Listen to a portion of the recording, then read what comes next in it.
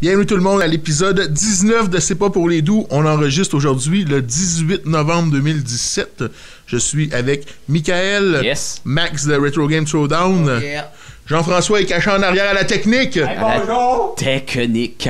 On a donné sa place à la licorne punk, licorne punk, notre invité du mois de Yes. décembre. Travaille ta prononciation. Faudrait que je fasse des exercices de diction. Avec des Hey, on a même un viewer cette semaine. Jésus Soupa chez Zaché, man. Jésus, tu pousses de Jésus. On fait un, on fait un On- podcast, en plus, ça serait important, je pense qu'on fasse nos, nos, Nos exercices. exercices. de diction Et et qu'on parle un français international. Donc ce soir, on va parler de reproduction avec Max tantôt. On va faire une petite Yeah. tournée des, des médias du Québec euh, où on aime s'informer.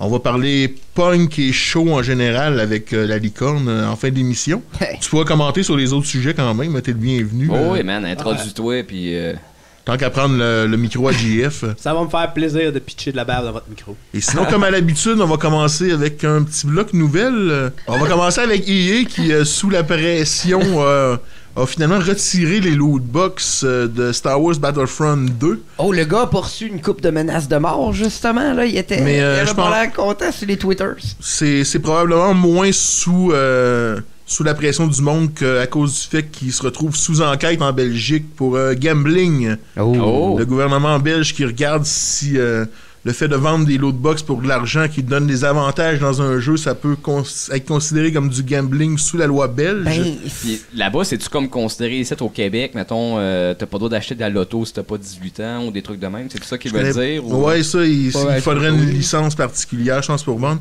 Aux, aux États-Unis, je me souviens pas l'organisme qui juge de ça, mais il avait jugé que ça ne tombait pas sous le gambling. Syndicate avait été, euh, comment qu'on dit ça, euh, quand il était euh, innocenté.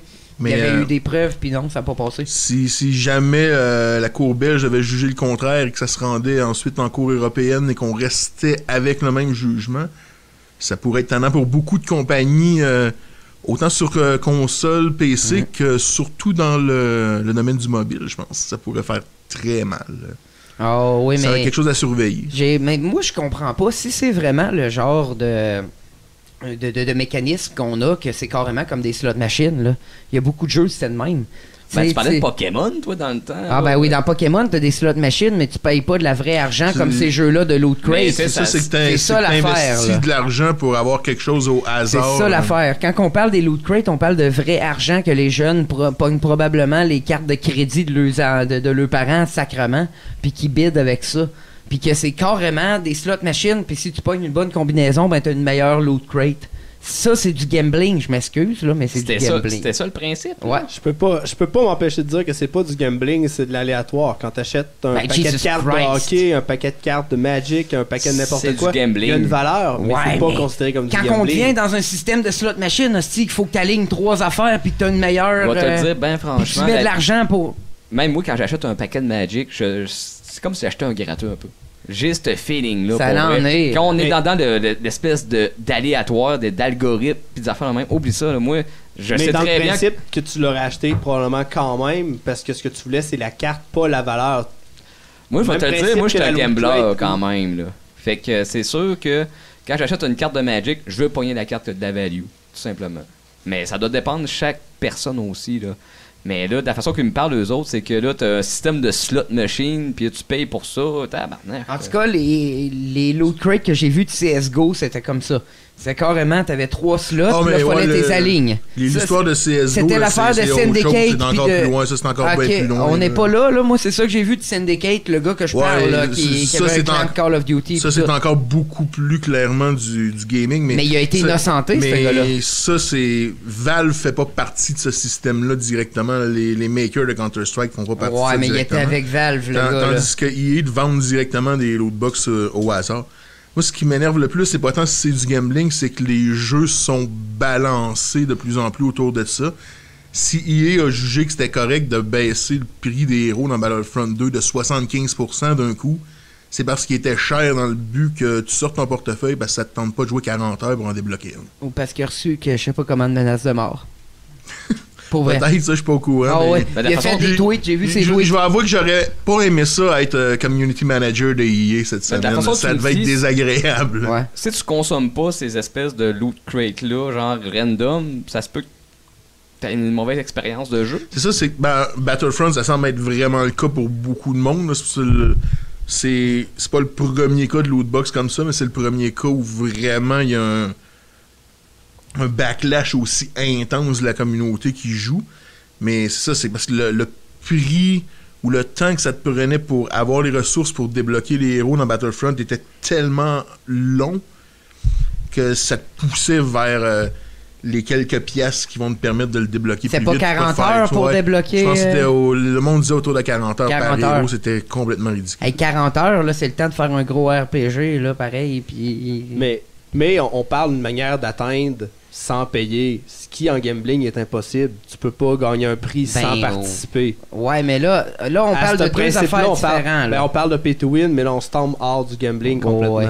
Quand on parle de pay to win, on n'est pas dans le gambling. Quand on parle des loot crates, là, je pense qu'on est dans de quoi différent. Mais, est-ce que tu peux l'atteindre en jouant, juste en jouant? Je pense, je pense que si on parle du cas en particulier de la, de la cour belge, de ce que j'ai lu, c'est surtout le fait que tu puisses avoir un avantage qui vient d'une transaction monétaire qui te donne un résultat aléatoire. Si tu payes un montant, puis que tu t'attends à recevoir quelque chose, si, si tu reçois tout le temps quelque chose, est-ce que c'est du gambling quand même? Parce qu'une slot machine, tu perds. Tandis Ouais, que je, là, peux- je peux voir ce que tu dis, mais c'est c'est qu'il y a un minimum, je- il y a de l'aléatoire. Tu sais, je veux dire, t'achètes un deck de Magic, t'as pas la plus chère, mais t'en as quand même, t'as pas tiré Mais 7 C'est quelque chose, ouais, c'est vrai. Mais ça, ouais, je comprends ce que tu veux Puis dire. la carte peut reprendre la valeur Mais dans en le, tant dans que le tel, on pourrait faire le, le même raisonnement que le slot machine, tu te fais du plaisir. Si on, Ah. on garde le facteur plaisir, tu sais, Jouer jouer, l'avocat euh, du diable, ça se fait bien. avez-vous vu Call of Duty qui donne de l'expérience pour regarder d'autres mondes ouvrir des lootbox? Ah ouais. Ça, ouais, je pense que c'est le ça plus ridicule que j'ai vu. Tu Fait peux, euh, quand t'es en multiplayer, regarder quelqu'un d'autre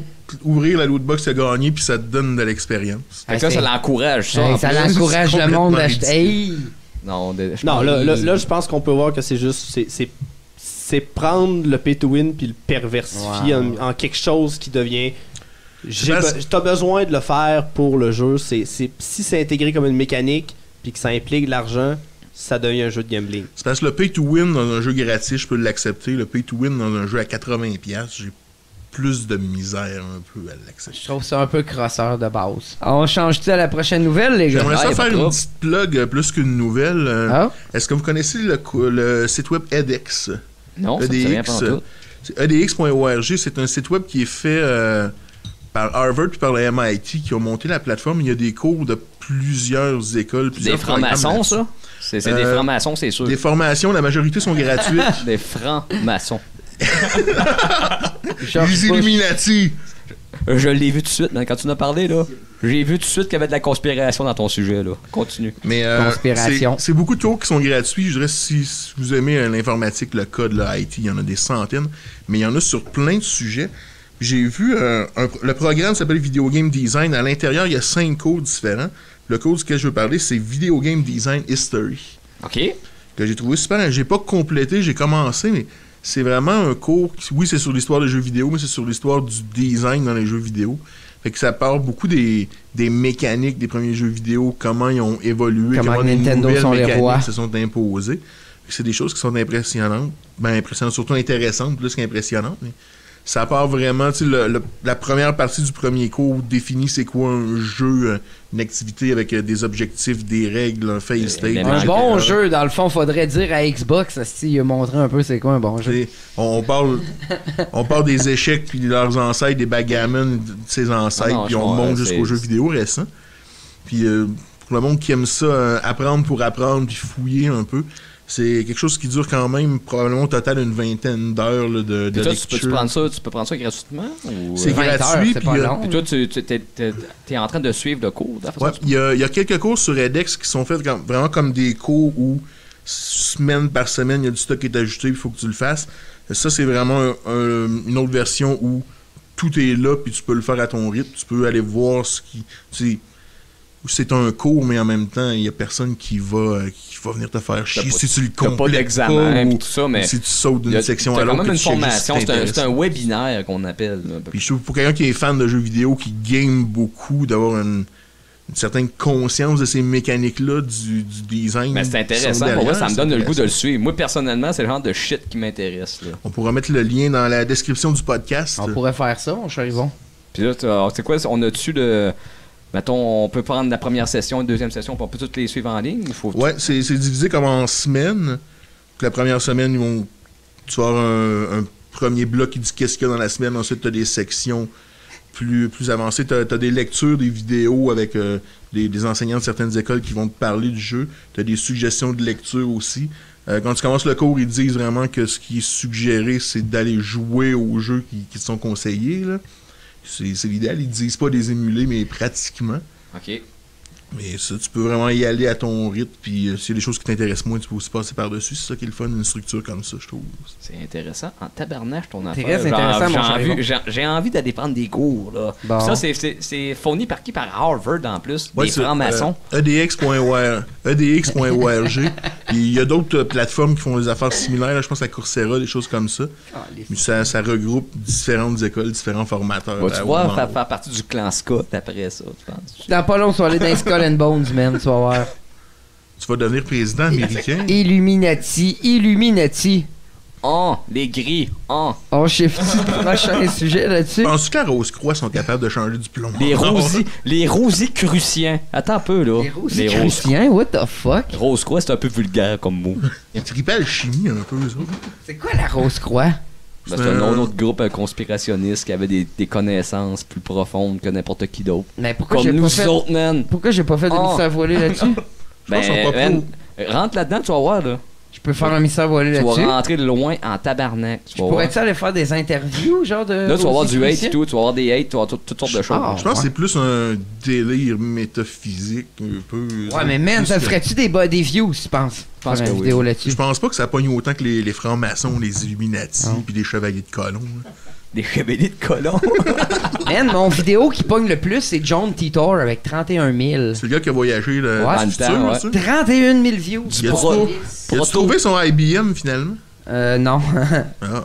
C'est du proto John Connor, man. Man, c'est hot en calé. Je pensais jamais que mon vidéo de John Titor allait pogner 31 000 views. S'il avait cherché Hey, un vieux Nokia, il l'aurait trouvé, c'est sûr. J'étais en train, tu me fais penser, j'étais en train de jouer à Steins Gate sur euh, PS Vita, qui est un, un text adventure, là, sauf que ça parle de voyage dans le temps, puis de John Titor en particulier, qui- Oh, qui, revient yeah. comme dix ans plus tard, mais que le, le per- ton personnage dans le jeu se souvient qu'il était apparu il y a 10 ans, mais il n'y a personne d'autre qui s'en Oh souvient. my god, ça tombe Des à la... split universe, cool. des choses comme ça, c'est Hey. c'est fly. Ouais, Wow. il est- il est Hey, ça, hot. faut, ça, faut que tu gardes ça in, man. John Titor, il est hot. Ouais, ouais, ouais. Moi, du voyage dans le temps. là. Allez voir John Titor sur la chaîne Mystère Voilé sur YouTube, hashtag shameless plug. Oh. Next, t'avais une nouvelle rétro, je pense. Yes sir, on allait parler euh, d'une épidémie de reproduction du jeu Panzer Dragoon sur Sega Saturn. Paraît-il que ça serait euh, pas mal sur Amazon puis eBay en ce moment. Ok. Hey shit. On va changer cette petite fil là de tabarnak. On fait une cote euh, avant de publier. J'en ai chez nous en plus des fils XLR. Tabarnak, c'est pas comme si on en manquait. Il y a Pas à peu du près- montage, Il y a à peu près maudit 80 filles qui ont perdu leur climax parce que ta voix a pas embarqué. Ah oui, pareil serait-il qu'il y aurait une épidémie de ce fameux jeu Panzer Dragoon que beaucoup de gamers mordraient à l'hameçon en pensant que c'est des vrais jeux. Puis que moi, je veux dire, euh, je je suis pas un anti-reproduction quand vient le temps de gamer. Mais Chris, faut que le vendeur le dise que c'est une Ouais, faut reproduction. que ce soit clairement Faut pas identifié. qu'ils le vendent au prix du vrai, ciboire. Puis là, ça, c'est ça le problème en ce moment, c'est que là, il y a plein de monde qui pense qu'ils achètent un vrai Panzer Dragoon qui vaut combien? Environ 150-200 Euh, pièces. ça dépend des Panzer Dragon, là. Moi, j'appelle ça Panzer Dragon. Ouais, c'est ça, espèce de que je viens, français. je viens de Saint-Cyprien. Ouais, c'est Non, ça. c'est pas vrai. Mais Panzer Dragoon, euh, mettons, le premier, je pense, en peut-être en 70-80$. pièces. Juste ça? Le premier, il est quand même accessible. Ok. Alors, quand tu tombes dans le 2 puis le Saga, le Saga, c'est du 200-225. Ok, ben c'est ça, mais c'est pas rien que le 1, là, c'est du Panzer Dragoon. as a 1, 2, whole, la, saga, la ouais. trilogie. Il y a quelqu'un qui s'amuse à falsifier tout ça. ouais. C'est triste, pareil, de voir ça. C'est plate en tabarnak. C'est triste de voir que du monde achète ça aussi sans même s'informer. Ben, sou- souvenez-vous, là, pas long, on a parlé d'une épidémie de Snatcher. Non, man, euh, tu m'avais parlé de ça, mais. Ben oui, on a parlé de ça. On a parlé, euh, euh, mais à moins qu'on n'ait pas parlé live puis qu'on rien Hashtag Mandela nous Je Effect. pense pas. Mandela Effect. Hashtag shameless plug. C'est peut-être le Mandela Effect, Calis. Moi, je pense qu'on a parlé. Dans ma réalité, Tu on a parlé. toi, le Snatcher, la Licorne Punk ou. euh? J'ai pas entendu parler de vagues de reproduction, mais ça arrive de temps en tu connais le jeu Ouais, je Snatcher. connais le jeu, je connais le. Le jeu Snatcher est malade mental. Mais tant qu'à jouer l'avocat du diable puis à faire chier tout le monde, Vas-y. à un certain point, quand tu payes pour un jeu, tu payes pour la propriété intellectuelle. Ce que tu veux, c'est le jeu. Ce que ça devrait faire, c'est soit dropper le prix à quelque chose de plus raisonnable. Parce que, basically, un livre rare, euh, s'il était reproduit, il perdrait de la valeur. On- Il y, a, il y a le côté collection à un certain J'aime point. qu'est-ce que tu dis, c'est que tu peux transmettre un peu là, l'espèce de, de contenu dans le temps. Ben, mettons, mettons que j'ai jamais entendu parler d'un émulateur de ma vie puis que je veux jouer à Hagan. Ça se peut que tu payes cher un Ça se peut que ça me fasse chier que je trouve pas Mais personne tu peux non quand même me profiter de, de ça. Mais Si j'achète une reproduction à 100$, est-ce que je me suis fait hoaxer? Ben, moi, non, non, non, attends, moi, j'ai juste un point là-dessus. Si t'es conscient que c'est une reproduction, puis t'es d'accord, puis que on a le consentement, Non, non, sans le savoir. hashtag... euh, Pro Gym, Ouais, hashtag pro-gym et euh, scandale sexuel. Si on a ton consentement, tout est correct. Mais sans le savoir, je l'achète à 100$, je suis quand même en dessous. Si, non, non, mais si il dit que c'est un vrai jeu, ça l'est pas, c'est mal. Ouais, ouais, ça je comprends. non, ça c'est c'est Si c'est crosseur. marqué que c'est C'est plus que repro, crosseur. on- là. moi, C'est- une question de c'est consentement. une vidange, sti. Si j'imagine que les jeux sont couverts sous le droit d'auteur de la même façon qu'un disque ou qu'un livre le C'est- sont, C'est c'est sous la loi de la Euh, propriété intellectuelle. un livre sous la. Un, je pourrais dire un disque, un disque, je suis plus familier qu'un livre, mais c'est le même principe. là. Sous la, propriété, la loi de la propriété intellectuelle au Canada, je pense que ça devient du domaine public 50 ans après la mort. On du entend créateur. ça, 25, hein? 25 ans après la En mort. tout cas, peu importe. Euh, ce qui fait que tu peux retrouver des albums de musique classique à à peu près 5$ piastres parce qu'il n'y a plus de droit à payer. Dans le livre, c'est la même chose. Tu peux Beethoven, t'as trouver, plus le euh, droit de payer depuis longtemps. tu, tu peux trouver un recueil de pots pour à peu près 5$ piastres aussi où tu vas avoir Un de recueil de peau. Ben Non, J'aime mais- ça, Hey. Dis de même, j'aime vraiment Que- ça. C'est un Playboy n'importe quel- 78. N'importe quel vieux, vieux livre, vieille œuvre. Quand je faisais du. Oh, excusez. Euh, je vais me dire que ça va être long parce que donc les premiers vrais jeux vidéo remontent au début des années 80, le temps que le monde qui ont les copyrights meurt puis que ça fait 50 ans de plus, probablement qu'on pogne, plus là, ouais. mais C'est est-ce 25 qu'il va ans arriver après la la même mort. chose qu'éventuellement tout le monde va pouvoir publier du vieux stock. Absolument. Absolument. Ça va être intéressant. Justement, j'allais dire euh, tantôt que euh, les, les, les des tunes de Beethoven puis tout, il n'y a plus de Non, ça, zéro euh, copyright après ça. Là, Ça, Ça, en musique cool, hein. classique, t'as as des labels, je pense à Ouais. Naxos, que c'est un label que tout ce qu'ils font, c'est vendre des albums de musique classique à genre 5$. piastres. Comme Ils Plus font un la- ils font de compositeur l'argent de- sur du monde qui existe même. Ça, les compositeurs de cette époque-là, t'as les payer, artistes à payer, mais T'as- pas le droit d'auteur. T'as de 100% l'œuvre. le droit de mettre le tune dans tes affaires. là. Justement, euh, quand je faisais du black metal, je me je m'amusais à faire des tunes euh, de comme Peste Noire qui reprend Baudelaire, qu'il n'y a plus de droit sur Baudelaire. Là. C'est Baudelaire qui avait traduit beaucoup de Edgar Allan Poe, d'ailleurs, à l'é- à l'époque. Oh, nice. Pour vrai? Si jamais vous pouvez mettre la main là-dessus, les... Ah. C'était un peu comme le travail de working design avec Square. Un peu, ouais. avec, Hey, euh, C'est un j'aime l'analogie. C'est un peu mais- comme les classelles. Wow. C'est- Ce que je voulais faire, je voulais qu'on parle de ce qu'il y avait ce jeu-là de reproduction, mais je voulais avoir votre opinion sur les reproductions. Qu'est-ce que vous en pensez personnellement? Ben, comme vous disiez, moi, tant que c'est euh, c'est honnête, que c'est identifié, j'ai pas vraiment de problème. J'en vois pas que j'achèterais, mais si quelqu'un est prêt à l'acheter... Parce que moi, j'ai dit ce que je pensais, mais je veux savoir, vous autres, là, que et toi, toi, la date, toi, tu- tant que c'est Ouais, possèdes-tu c'est- des reproductions? Ouais, t'en as-tu, toi? Je veux savoir vos repros. Euh, non, moi, j'en possède pas. Comme je dis, tant, tant que c'est bien identifié, là, je vois pas que je vois pas de problème en tant que tel. Euh, moi, en tant que tel, j'ai euh, Terra Enigma, j'ai quelques reproductions. Euh, c'est dans l'époque qu'on était. C'était pas facile d'avoir des, des. Mettons comme un rétropay actuellement, qu'est-ce qu'on a? là? Ouais, on a- on n'avait pas l'accès à tout le luxe qu'on a Ben, là. c'est ça. Puis en plus, c'était des jeux européens ou euh, japonais qu'on peut même pas avoir. Mm. Euh, moi, je me rappelle que Terra Enigma, dans le temps, je- ça fait longtemps, je pense que je sortais du, euh, du secondaire en 2003-2004. Puis là, je m'étais dit, il faut, faut jouer à, à Terra Enigma. Mais là, man, on est loin, là. On est loin, là. Ah, là, ça faut- te prenait le ça, SPS. ça, ça- ça te prend un. Regarde, écoute ça, dans le temps, on savait même pas qu'on pouvait modder notre, fa- Ouais, notre tu, Super peux- Nu- tu savais pas que tu pouvais couper les pins en arrière de plastique. Moi, dans ma tête, là, je suis en train de checker pour m'acheter un Famicom, un Super Famicom Hey, européen. Avec l'adapteur puis la cassette pour jouer à ça. Là. Ben, à un moment donné, on s'est rendu compte, oh, ben, c'est rien que des pins que tu coupes. Là, j'ai, j'ai ma, ma cartouche de reproduction de Terra Enigma. Payé 50$. pièces. Euh, faut faire attention là-dedans en tant que tel. là. Il y a des cartouches que c'est mal fait. Ouais. Des cartouches qui peuvent créer de dommages à ta console, des, des trucs de même. là, Hashtag la cartouche euh, 150 jeux euh, rouges que tout le monde avait sur ses CGVQ, là. Ça pétait ça, tout ton euh, NES. Ça peut péter. Sinon, euh, j'ai- après ça, j'ai- au Game Boy Advance, je me suis pogné, euh, je pense, c'est Circle of the Moon, là, une affaire euh, Castlevania. Ah euh, oui, il est bon, lui. Ils sont tous bons. Ils sont tous bons, les de Metroidvania là, du Ouais. Game Boy Advance. Mais je m'étais pogné une cartouche de même.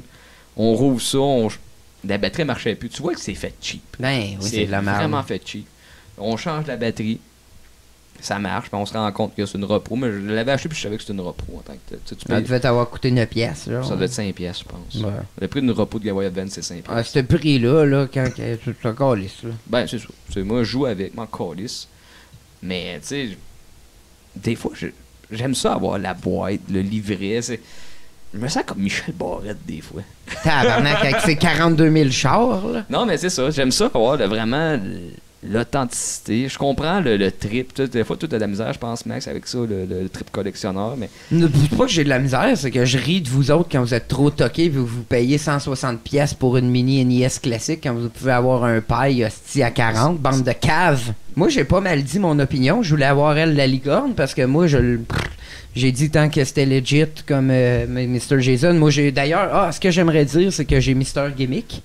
Mr. Oui. Gimmick en repro qui est vraiment malade. vraiment belle. Ils ont fait un beau travail, là, en plus. Là, Et euh, Mr. Gimmick, si vous avez pas joué à ça au NES, allez jouer à ça. Ben, fait- Tabarnak! Fais un petit peu une rétrospective de Mr. Ah, Gimmick. C'est un jeu qui n'a jamais sorti en Amérique. Ah, c'est un jeu qui n'est pas sorti ici, qui est sorti en Australie et au Japon.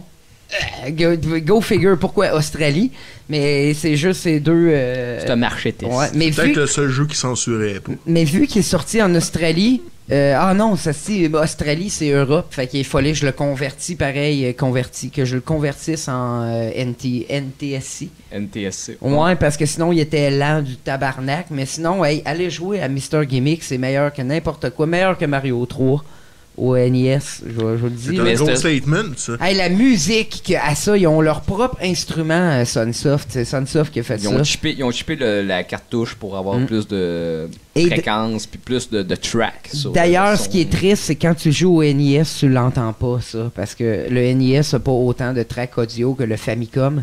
Quand tu joues au Famicom à Mr. Gimmick, t'entends les tracks supplémentaires que tu peux écouter quand tu checkes la soundtrack sur mon channel euh, Retro Game Showdown, je l'ai, si vous voulez aller voir. Ça marchait comme un Master System un peu, ça. Un peu, ouais, t'as des t'as, t'as plusieurs sound euh, plusieurs sound chips et, et tabarnak que ça sonne la musique de Mr. Gimmick, non, mais ça les pète. amis. Pour vrai, il y a de la bass. Oh my god! C'est comme Mario Bros 3, t'as- ça, ça pète un peu, là. Ah, c'est rien comparé à Mr. Gimmick. Mais tu parles de jeux rares obscurs, est-ce que tu connais Cocoron? Ben oui, man, c'est Ça, malade ça. c'est- C'est une, Ben c'est une oui. perle au même niveau. Ouais, oui, ben oui, je pense que c'est pas mal, ouais. On parle pas Co- même du Cocoron, niveau. c'est all-time, probablement C'est le pas ça- rétro game que je peux. C'est pas ça, ça? Non, c'est qui qui a fait ça, Cocoron? Je pourrais pas te dire par cœur, c'est obscur. On parle de C'est Cocoon, le film? Non, non, non, non, non, c'est un jeu de NES vraiment malade. Puis tu peux t'acheter la repro toute rose, justement. Genre, ils ont fait une cassette Mais, repro, je sais euh, pas si tu l'as vu, le rose. euh, Ouais, je l'ai vu, je l'ai pas. Le repos de Mr. Gimmick est vraiment bien fait. Elle est verte, Elle est transparente. verte, transparente, translucide. Ouais. Fait que tu vois tout le PCB à travers. C'est Ah, c'est c'est que j'adore Mr. Gimmick, allez jouer y, à a- il y a des beaux produits dans les reproductions, puis des fois, il y a de la crise de marde. Mais- C'est ça, faut se méfier, faut vraiment voir là, qu'est-ce qui se passe. là. Mais Mr. Gimmick, c'est de la qualité. Puis toi, euh, mon. Ben, pour ma- pour ma- ma- résumer, ma ce qui est simple, c'est une reproduction, c'est comme une toile, c'est comme un livre, c'est comme n'importe quoi. Tu payes pour la qualité. Puis si c'est juste, si c'est honnêtement affiché, why not? Dans les maisons d'édition qui ont, qui ont des free affaires gratis de pas payer tout ce qui est Bella Lugosi, Boris Karloff, tous les vieux films d'horreur, Night of the Living Bella gosier, man. Ouais. Ben, le, le Goosy's dead. Bauhaus. Les, Ah ouais. Le Goosy's dead. les vieux films d'horreur de Universal.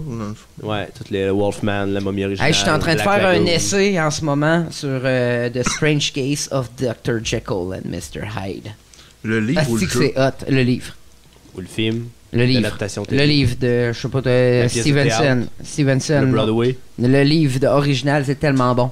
Max qui nous amène sur un terrain glissant. On parle euh, médias du Québec, nos sources d'information préférées et ces Oh, choses-là. Du Québec. Shit. Ça va être intéressant, ça, les amis. Oh my god. Où est-ce que tu nous amènes? Ben là, ben, moi pis Mick, on se disait, Chris, pourquoi qu'on pourrait pas parler de ça un moment donné? Parce que on, on peut pas se le cacher, il y a des affaires qui se passent au Québec en sacrement. Autant qu'aux États-Unis, ça brasse en hostie des médias. Puis là, je me disais, ça serait peut-être l'occasion de. ça. Ben, tabarnak, voyons, Esti, veux-tu qu'on en parle? oui, c'est ce qu'on Veux-tu fait. qu'on parle... veux-tu qu'on parle de Salveille? Veux-tu qu'on parle de Brûlé? Ah, ok, Ou c'est ça que-. Ah ouais, veux-tu qu'on parle de plusieurs affaires au Québec qui se passent? Mais pour là, je veux savoir, qu'est-ce... où est-ce que vous prenez votre information, vous autres? Personnellement. Moi, c'est sur lcn.canoe.ca. LCN, t'écoutes ça, toi, LCN? LCN, ouais, moi, à toutes mes heures de pause, je check sur LCN qu'est-ce qui se passe? Peu importe, euh, actualité, région, etc. Je check tout, tout, tout, tout. Après ça, je vais sur embosse.com. Mais il y a et tout, il y a Beauce.tv, là. Tu sais, on est, dans- on est quand même dans le local. Shout-out à Vincent. Possiblement, mais moi, j'aime ça. J'aime, j'aime être au courant de la dernière shit, de qu'est-ce qui se passe en même temps. Puis tu sais, c'est pas plus pour en jaser, c'est pour justement. Ok, c'est, c'est passé ça, mais tu sais, ouais, après ça, qu'est-ce que tu peux dire de plus? là? Tu te prépares, genre, qu'est-ce que le monde va Ouais, te parler? tu checkes-tu vraiment des sources différentes pour renchérir ou tu checkes deux affaires semblables dans la, le, le Ben, même coin excu- politique? excuse-moi, là, mais euh, au Québec, là, C'est une question, je te juge pas.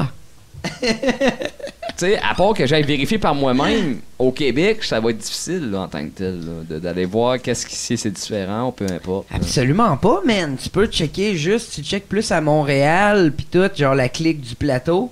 Puis tu peux checker plus à Québec. Moi, je regarde le boulevard 1021.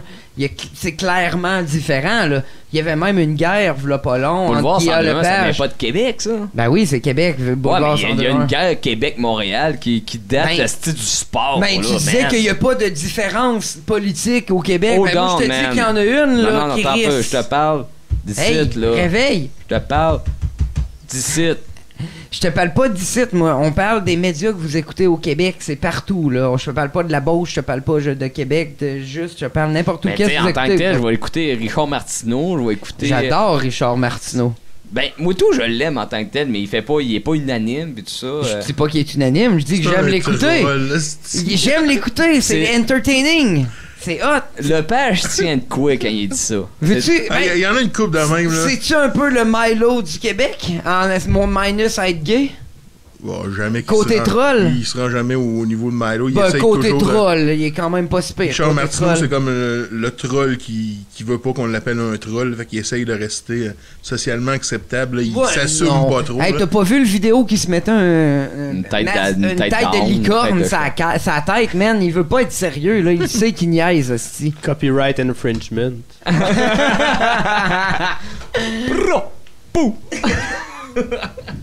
Mais tu sais, sérieusement, Martineau, c'est un peu un show sensationnaliste, puis. Ouais, mais c'est drôle, C'est correct de passer un message par un personnage, mais à ce niveau-là, euh, faut que tu te mettes à croire beaucoup de monde pour du cash, puis ça, ça vaut pas la peine. Justement, je trouve que tu dis de quoi de vraiment intéressant. Qu'est-ce que tu penses de Guy Nantel? Avec la polémique qui arrive ces temps-ci, t'as-tu entendu un peu ce qui arrive avec Guy Nantel? Avec- euh, je- Avec, euh, avec on- Ali- Alice on peut en parler, on peut en parler, Guy, Nan- Guy Nantel il faisait des, comme des blagues, il référait par rapport à, à Alice Pocket. Euh, je sais même pas c'est quoi la Euh, joke. je vais je sais je l'expliquer. Dans le fond, Guy Nantel, tout le monde sait que c'est c'est un peu un personnage. Là. Guy Nantel, c'est sûr qu'il dramatise, que oui, il pense un peu comme ça, mais Chris, des fois, il en met. Je vais donner juste un exemple. Un moment donné, il a fait un, un sketch sur les Jeux Olympiques, puis là, il disait qu'il riait des Jeux Olympiques pour femmes puis pour handicapés, puis il disait que c'était pas autant bon que les Jeux Olympiques pour les hommes, puis que Chris, on n'a pas besoin de ça, les handicapés puis les femmes. Puis finalement, il arrive un- une femme, la meilleure femme de je sais pas trop quoi, puis la meilleure des handicapés d'un autre jeu, puis là, qui écœure Guy Nantel. Ok, ben tu sais, il, il C'est un essaie- il- personnage, Il est self-aware un peu. Ben là, oui, c'est un personnage, puis il sait, oui, ça n'a pas de bon sens ce qu'il dit, mais Chris, c'est un personnage. Là, ce qui est arrivé, c'est qu'il a pris ce personnage-là, puis il a fait des jokes sur les scandales sexuels, où ce que Alice Paquette aurait couché avec euh, le gouverneur euh, je sais pas qui, mais que finalement, elle a pas, Pas couché. Slavounos. Slavounos. Mais, mais c'est ça qu'il dit, c'est ça qu'il dit dans sa joke, il dit Souvlaki. Puis là, C'est il, pas le grec. ben c'est ça, il niaise un Là, peu ben, là-dessus. T'as rendu compte qu'à soir, là, de parler de ça, on se met la tête sur le bûcher. Ouais, ouais, je sais, mais dans le fond, il fait un personnage, puis il rit de ça, ouais, mais c'est Guy Nantel, il rit de la polémique. Quand tu passes dans les médias, il va rire, puis son personnage un peu cabochon comme ça, à place de dire euh, comment Slavounos, il va dire Souvlaki, comme il disait dans son show. Puis c'est c'est le cabochon là, qui parle. Puis ça l'a passé, man. Il s'est fait écœurer. Il y a eu des menaces de mort. Le gars qui euh, l'a menacé est rendu en cours en ce moment au Québec. Il est en prison. Il est, en- enfermé depuis un bout. Puis ça marche en tabarnak. Ce monde-là, quand que ce soit Guy Nantel, que ce soit Mike Ward ou peu importe, le monde que ça scandalise au point d'en écrire des articles, là, ils se rendent compte qu'ils vont probablement vendre plus de billets pour les shows que d'autres choses. Ça marche pareil. Exactement. C'est un peu- Nantel a vendu en Parlez-en bien, parlez-en mal, c'est un vieux principe. Ça, c'est un vieux principe, ça. là. Mais c'est vrai. Je sais pas si on- je pense je pense qu'on est un peu plus frileux au Québec qu'ailleurs aussi. Au- aux États-Unis, je regardais le, le show que Dave Chappelle a fait pour Netflix il y a pas longtemps. Mm. Il, il y a des jokes de O.J. Simpson, il y a des jokes euh, Des shippers, il était Le- pareil, me semble. le Bing Bill Crosby aussi des affaires comme ça puis il gêne pas pour aller dans les sujets qui sont quand même tabous. Il y a un certain backlash, mais jamais intense comme c'est au Québec, me semble. Je sais pas si c'est parce qu'on est on est moins de monde, fait que c'est peut-être plus une Ouais. bulle fermée. Attends, il va peut-être sortir des voix. affaires sur Chappelle, v'là pas long, comme Louis C.K. qui commence à sortir, puis les scandales sexuels. Mais moi, j'allais dire que j'écoute pas Radio X ou rien. Pas Radio X. J'écoute 102.1, moi. J'écoute le boulevard avec, euh, comment qu'elle s'appelle, Nathalie Normando, euh, Sophie Durocher, puis euh, l'autre Gas, là. Comment elle s'appelle? Stéphane Gass. Stéphane Gas, puis un autre que j'oublie son nom. Gilles Parent. Non, il est plus là. Il est, Ah. il est parti, le parent. Mais Ah. j'aime vraiment. moi, pour vrai, j'aime le boulevard 102.1. Puis sérieusement, je savais pas que Sophie Durocher était autant. Hey, elle a, cri- elle a critiqué les féministes. Elle a critiqué les victimes de- de- d'a- d'agressions sexuelles quand ils disaient qu'il n'y avait pas assez un grand nombre. Puis Chris, je pensais que c'était une féministe, moi, Sophie Durocher. Elle fait Mais- pas mal juste répéter ce que Martineau a écrit. Elle est pas mal plus de droite, peut-être parce qu'elle sort avec Martineau depuis un bout, mais Elle Chris. sort avec Martineau? Ouais, elle sort avec Martineau. Ouais. Puis c'est c'est en site, je l'écoute avec euh, Nathalie Normando. Puis moi, sérieusement, là, j'aime bien Mais- ce que j'entends. Tu trouves pas que le monde qui débarque en radio à Québec, ils deviennent de façon magique plus à droite qui était à Montréal? Le, le meilleur exemple, je pense, c'est Éric Duhem. Éric Duhem, quand il était Hey, à il virait Montréal. à droite en crise. Éric du Duhem, quand il était à Montréal, il était de droite, mais tu sais. Tu me parlais de Milo tantôt, là. Éric Duhem. Ça naît un Milo, hein, on peut dire ça- ça? Je veux pas de- avoir de préjugés, mais c'est à- c'est à- ça. Quand il était à Montréal, j'aimais ça, l'écouter Éric Duhem. Je trouvais qu'il faisait des bonnes entrevues. Depuis qu'il est à Québec, j'ai vraiment l'impression. À la radio, je l'écoute pas, je vais honnête, mais des fois, je vois des posts passer sur Facebook. là. On dirait vraiment qu'il pogne un hameçon, qu'il lance, puis qu'il essaye de pogner les plus tarés qu'il peut. Là. Diriez- les sections Diriez-vous de que la vague, la vague Radio X Liberté de 2004 aurait starté le précédent de Radio Trash populaire? Il y a, il y a eu, il y a une, bon, pé- ça. il y a eu une période de transition, je pense. Vais te dire bien franchement, il y a eu une période que le monde était frileux. Puis à m'emmener, ben là, ça, ça a continué. Il n'y a, a pas eu de frileux. On recule à 96, la jungle. C'est quelque chose. de- à 8 h le matin dans les autobus scolaires, c'était extrêmement trash Ben, à je, je te parle après. Après, Après, on, on 80 tombe, on tombe à où? Parce que là, on parle, il n'y a même pas 10 ans entre ça et liberté. Euh, te Je pense dire- que les gens ont juste oublié. On a dit à tout le monde, vous êtes frileux parce que ça. Puis là, tout le monde a fait, ah ben, ça va. C'est une vague, je pense, qui a pogné. Là où ailleurs, on considère plus l'entrevue plus importante que l'effet. Contenu versus emballage. C'est vrai. Ben, qu'est-ce que tu dis, je pense que ça vient beaucoup aussi avec euh, Twitter, Facebook, BuzzFeed, etc. Tout ce que tu veux, c'est plus euh, créer un buzz, créer des partages, vendre de la pub que susciter une réflexion à long terme, je pense. là. L'impact est plus important que ce qui va en rester. C'est beaucoup. Je trouve ça malheureux qu'il y a même beaucoup de médias plus, euh, mettons, médias traditionnels, entre guillemets, qui s'en aillent vers, euh, vers cette voie-là, à essayer de faire du clickbait, essayer Du Puis, native, du native advertising, puis des... On le voit beaucoup euh, des événements qui se passent. Prenons un- une attaque terroriste, peu importe laquelle. Souvent, tout le monde va se battre pour avoir les informations en premier. Il va sortir euh, des informations qui sont conflictuelles, des affaires qui sont pas vraies, que la police va dire c'est pas vrai. Finalement, ils vont revenir sur leurs paroles.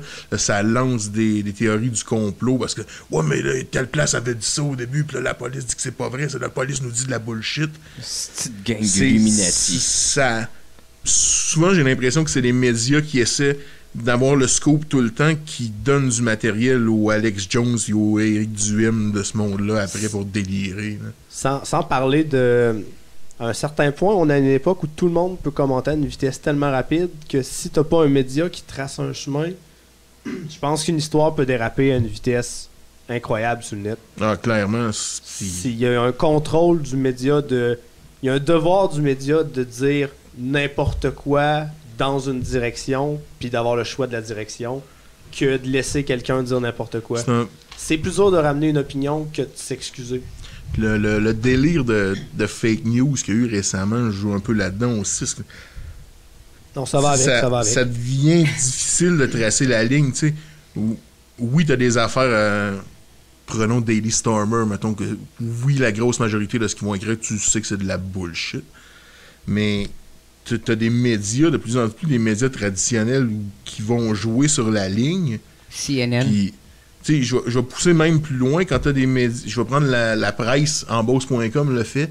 Quand tu vends de la publicité native, que tu présentes un texte payé dans le même format que tes articles pour faire croire au monde que c'est des articles, c'est dur après ça de te retourner et de dire que l'autre fait du fake news pour faire de Ben, l'argent sur de la bullshit. C'est comme voler la une un peu. Là. Ça, c'est t'accuses quelqu'un de publier de la bullshit pour faire de l'argent dessus, mais de ton côté, tu vires le processus à l'envers, t'acceptes de l'argent, puis tu publies de la bullshit après. On a vu ça souvent. à là, place les premières, premières fois qu'on voyait ça, c'est que la une de ton journal est une publicité. Les médias, ben. C'est de la crise de marde. À Montréal, tu voyais ça souvent avec euh, les médias gratuits, le journal Métro, le 24 heures, ces affaires-là qui te donnent gratis quand tu vas dans le métro.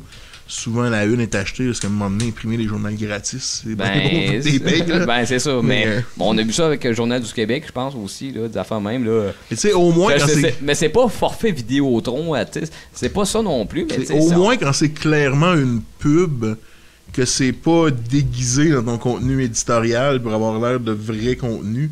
Un peu comme tu parlais de LCN. Tu me dire que peut-être que Québécois, c'est une cible facile, mais quand LCN utilise un, un bulletin de nouvelles pour m'annoncer que Vidéotron lance des nouveaux forfaits de cellulaire, justement, c'est un peu de la boîte. là. nouveau forfait. Il y en a pas beaucoup de médias de droite au Québec que je trouve. euh, Ben, Je veux pas utiliser le terme crédible, mais en même temps. ouais, la- Intègre. Hey, hey, hey, hey, hey, je vais te reprendre là-dessus. Moi, je pense que euh, 102.1 est plutôt un peu plus de droite. Ouais, la clique du plateau, puis ils sont quand même crédibles. je- là. je- je vais être cliché, mais Radio X, tu sais, à m'amener, là. Tu peux pas donner de crédibilité à Jeff Fillion. Il dit tellement de merde que, tu sais, même si une affaire qu'il dit est vraie, il met tellement Cas- de merde autour. On y va cas par cas. On peut y aller cas par cas avec comme, Filion, comme je tu- pense. comme tu disais. Ouais, mais je veux pas avoir besoin d'y aller cas par cas avec mes sources. Ouais, mais c'est pas le choix, man. C'est du cas par cas. Ouais, mais si tu dis que cette source-là, c'est bon Mais que quoi à dire, mais que quoi à tu vas dire, juste le prendre quand ça va faire ton affaire. Tu sais, tu parles de Jeff Fillion, nous autres, on a des Max Facto, man. Ok. si tu trouves que du cas par cas c'est bien, là, de la reproduction, s'il y avait juste une cartouche sur trois qui est indiquée, ce serait correct. Qu'est-ce que tu veux dire par là? Ben, c'est du cas par cas. Ils sont indiqués, mais juste pas toutes. Non, mais Carlis, dans la vie, tu peux pas rien prendre pour du cash. Je veux dire, tu peux pas dire, moi, je suis juste de droite ou moi, je suis juste de gauche. Non. Tout est du cas par cas, tu vois. Pour certains cas, moi, je suis de droite. Pour certaines Non, affaires, je suis de ça. gauche. T'as t'as Ça- rien, tu peux pas ça, dire. je suis d'accord, mais tu sais, Ben, à un c'est moment ça que donné, je voulais dire par à un moment donné, sur tes sources, tu sais qu'il y en a certaines qui vont avoir un pourcentage de bullshit qui est plus haut. là. Peut-être que mon threshold est plus bas. Non, mais toi. le problème Mon vient quand. hey, man, tu rentres dans les termes techniques de pédale d'effet. Euh, je vais te dire. euh, je- Non, c'est- c'est un terme aussi littéraire, mais Le threshold. Il y, a ça, il y a ça dans Magic, tu devrais le savoir. C'est quoi ça, le threshold? c'est un terme littéraire C'est le aussi. seuil. Ouais. Mon seuil de tolérance dans ce cas-ci. euh, Le problème vient quand que tu crois automatiquement quelque chose parce que tu dis ah cette personne là c'est Dieu fait qu'automatiquement quand il dit de quoi c'est de super. dogme. de- Exactement. Le problème vient là. Moi je ris souvent, je dis ah ouais mais Milo is God puis tout ce que Milo il dit c'est bon, mais je niaise un peu Mais- là. Le, le problème là-dedans, il vient peut-être du fait que l'opinion prend trop de place versus l'information. Tu sais, si tu lis un texte d'agence de presse, d'habitude, tu peux te fier aux faits qui sont écrits dedans. Si t'en Ça prends- dépend. Tant qu'il y a de l'argent au bout, man, euh, non. En, en général, Uh-huh. je me fie plus à un texte d'agence de presse qu'au qu'au résumé d'Alex Jones. Pas si c'est dirigé par CNN. CNN, c'est pas une agence de presse. On est rendu au bloc de Mister la licorne. Licorne. Oh yeah. Fait que c'est quoi toi, mais t'es quoi tabarnak? C'est quoi la licorne? Explique-nous ça. T'es cool. T'es quoi? On sait pas, on pense que t'es un On- on- on cosplayer. dans la métaphysique à ce Est-ce niveau-là. que t'es un furry ou t'es un cosplayer? Non plus. Donc, explique-nous t'es quoi. Non, continue ta game de Guess Who, j'étais quand même bon. Ben, je sais pas, man. Tu fais des faces. Ouais. T'es-tu un calinours? Non, j'ai jamais entendu celle-là, je pense. Ah ouais, man, t'es quoi? Explique-nous ça. C'est quoi la licorne? Paul? homme licorne? Parce que Ouais, ouais, je- lui, euh, J'attends mes cartes. dans le fond, t'es C'est non-binaire. un centaure. Non binaire. C'est un centaure non binaire. Yes. Je suis un- je suis un 3 dans un monde de 1 puis de 2. Hey, Chris, c'est peut-être un queer non-binaire. Mais explique, man, qu'est-ce que C'est t'es, quoi, la licorne punk? y a pas de concept, man. C'est. Parce que t'as une page Facebook, t'es partout mais- dans un show. Mais pis- parle, mais parle, qu'est-ce que tu fais en tant que tel? Exact. Euh, T'apportes de la joie. J'apporte de la joie, man. C'est vraiment, c'est ramener l'essence de. Je pense que l'idée est venue en écoutant du Toy Dolls. Toy Doors qui est quoi un C'est quoi, ça? C'est euh, c'est du fun punk. Tu peux, Fun te taper, punk, ok. tu peux te taper tous les disques, t'as pas de malheur en écoutant. Ok, c'est c'est Ben, comme c'est de la NoFX, c'est joie. pas du fun punk aussi? Ouais, il y a un côté fun, mais il y a un côté engagé. Là, où... Ah ouais, j'avoue.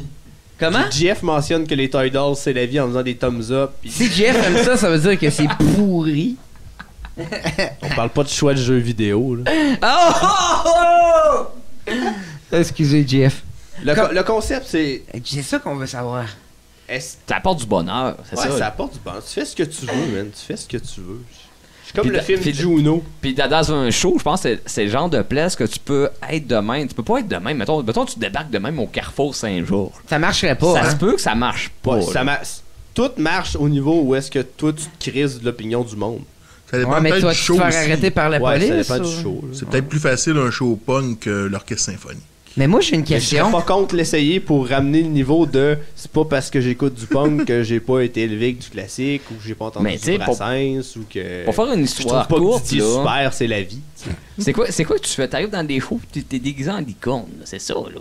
C'est ça le concept. Le core, là. Continue. Je le core c'est spoil. juste ça mais non mais va, va au Rockfest s'en va les maquettes nomme un festival il y a du monde en banane dans Crayola des, des, des- Puis toi, t'es la licorne. Ah mais ouais. Je suis pas- je c'est suis pas d'où, meilleur d'où ou pire que t'es autre. venu? L'idée, là. Hey, me semble, à s- demain, demain, je me déguise en licorne. Pourquoi?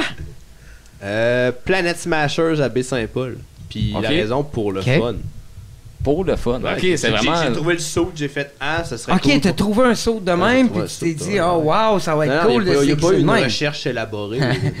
oh, no shit! Moi, je Ouais, pensais, moi, ben- moi, je pensais que c'était comme un, un gros, un gros pèlerinage philosophique là, depuis longtemps. Là, que t'es là. Bon, là, pourquoi, pourquoi je me déguiser en licorne? Pourquoi pas? Pourquoi? Moi, j'ai une autre question. C'est probablement la meilleure question depuis le temps que je vois du monde random. Parce que c'est le premier soir que je te vois. Ben, je t'ai déjà vu avant, là, mais Allo Police, ça compte pas. Oh my god! J'allais te, j'allais te poser une question très importante. C'est important. Comment ça, si tu vas dans toutes les shows pis tout, je t'ai pas vu à Woodstock? Ben, je suis jamais allé à Woodstock. Le concept est venu après. What the fuck? concept est venu après. ça Ben non, pas- man. L'année passée, ton concept existait pis t'étais pas à Woodstock, puis l'année d'avant aussi. Non. Mais- Ben what the fuck? Ben, je peux pas être partout, man. Ben viens à Woodstock. Ben, là. L'année prochaine. L'année Ouais. passée, ça aurait été triste comme premier Woodstock, man. Ah, c'était vraiment triste. pour Bon, vrai. ben, tu vois pourquoi tu me mets dans une place triste. Non, mais-. Tu fais des funérailles, moi. Ah, non, non, non, non, non. L'année d'avant, c'était malade. Ouais, mais j'ai déjà vu des funérailles Mais malades aussi, j'ai- et je t'ai pas invité pour autant. Justement, si on avait la licorne punk, ça serait peut-être plus cool. Je sais pas aller en licorne pas quand euh, des funérailles. Oh! C'est, Je pense qu'en euh, arrivant, je brûlerais une burqa pour me donner du buzz. Westboro Baptist Church. Je brûlerais une burqa. Oh my god, loi C'est à 62. dire à tous mes On parle amis. de la loi euh, 62, la gang? T'as des anecdotes à compter. C'est quoi un tes, peu, tes là. meilleurs shows, des meilleures anecdotes? euh, euh, des meilleurs shows. euh, Parlons punk un peu. là. Parlons punk. Faudrait que, faudrait que tu évalues l'expérience générale ou la, la présentation, le show, le- le- l'ambiance. Le, L'expérience générale, là. Rockfest, il y a deux ans, c'était juste merveilleux. Il faisait super beau, il faisait super chaud, puis tout, tout a été le fun. Tout a, tout a bien marché. Shout out à JP qui a laissé son pack-sac à Saint-Prosper. Yeah, GP. Yeah. Bro. C'est, c'est, Respect. c'est, c'est un inside au point où est-ce qu'il y a des, il y a des filles de Montréal qui l'ont burné durant la fin de semaine, puis c'était quand même cool. Mais je vous raconte pas l'anecdote, allez chier. Fuck off. Est-ce que le monde te Ah, reconnaisse hey. d'un show à l'autre? À, à un point où est-ce que c'en est presque euh, métaphysiquement impossible, où est-ce que le monde me dit t'étais à un show telle fin de semaine, mais j'étais à un autre show. Puis ils vont m'ostiner sur le- l'information. Mandela Effect! Ouais. J'imagine que c'était sur man. Mandela Effect. Ouais, peut-être. Mais en même temps, je suis pas tout seul. Il y a eu des photos où est-ce que j'étais avec un autre dos dans les cornes, puis c'est, c'est... Deux licornes. Ouais, faut pas que ce soit un concept unique. C'est-tu un peu comme des filles à un bal de finissant? Ça t'arrive à un show, puis il y a un autre dude qui est habillé en licorne. T'es-tu en beau T'es en calice, là. Ben non, ben non, c'est le contraire. Quelqu'un d'autre a la même coupe de cheveux que toi, quelqu'un d'autre a une face qui te ressemble, quelqu'un d'autre s'appelle Mick. Le Tu même leur gilet que pas toi. toute la gueule. Hold on, man. Je suis Michael Goulet. Ouais, mais tu, tu pètes pas ta gueule à tous les autres Michael Goulet qui existent. Ouais. Je suis pas allé à l'enterrement de- de- d'un d'autre qui avait le même nom que moi à Victoriaville pour pisser sur sa tombe, là. C'est un true fact. Mettons que sur stage. dans un band, toi, t'aurais aimé ça, je pense, en tant que tel. Ben oui, on a déjà eu un band, ça a été euh, prolifique. Prolifique? C'est ça le nom on- du band? On a brûlé plus de band members par l'alcool que Metallica en moins de temps. Pour Ah, mais ça, c'est prolifique. Et c'était l'épisode 19 de C'est pas pour les doux. Merci de nous avoir écoutés. On revient la semaine prochaine avec euh, Max de Retro Game Throwdown, Michael et Oh. GF euh, de Game Watch qui sera de retour derrière le micro. Watch and Game. GF du garage Mathieu Bérubé. Merci à la licorne punk de nous avoir. euh, Ouais, c'était super fun, man. Ouais. euh, Merci. Merci à vous autres les gars, ça donnait que je passais par ici pour C'est euh, la c'est super, contrebande d'armes t'as- illégales. Vraiment des qualités radiophoniques. Ça se peut que. Ouais. Ça peut que tu me remplaces. Hey, bonne soirée tout le monde. On se repogne dans un autre podcast. Oh yeah.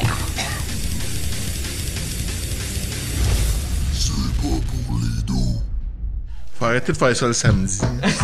Oh man.